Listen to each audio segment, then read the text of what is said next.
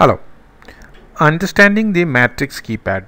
The matrix keypad is that we got here 12 switches 3 into 4 that means 3 row uh, that means uh, 3 columns and 4 rows and this is what is called a matrix keypad and it has got 7 connections 3 here 4 here we will see how by pressing a particular number what kind of things are happening so that these seven connections are given to any digital circuit or a telephone circuit or a microcontroller circuit so as to understand which number has been pressed.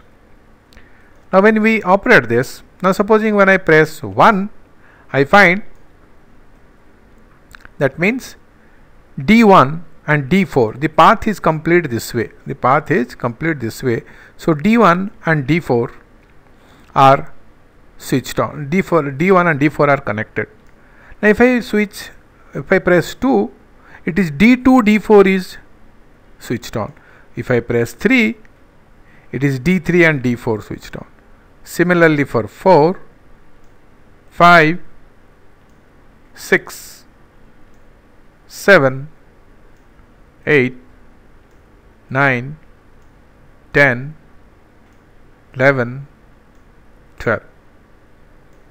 So, for each number pressed, there are two limbs which get connected. That's why we have connected one limb to the supply, other limb to the ground, and we have connected two LEDs in series to see as to what exactly is happening. So, these seven connections are ultimately given to the microcontroller or even to the telephone uh, pad uh, that there is a specific IC for it and that when the IC is, finds that say for example when I press 1 it finds that 1 and A are getting so sorted they are getting connected.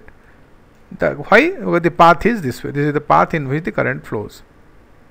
And for 2 the path is the current flows this way this way positive to negative.